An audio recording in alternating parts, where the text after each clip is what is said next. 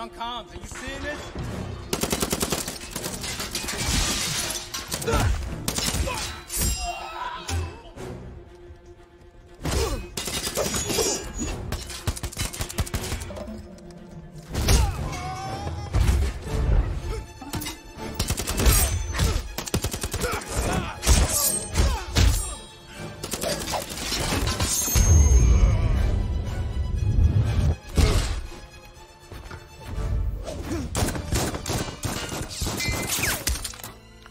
Our quarrel is not with you, Ghana. Oh, really? Because you're kind of sending me mixed messages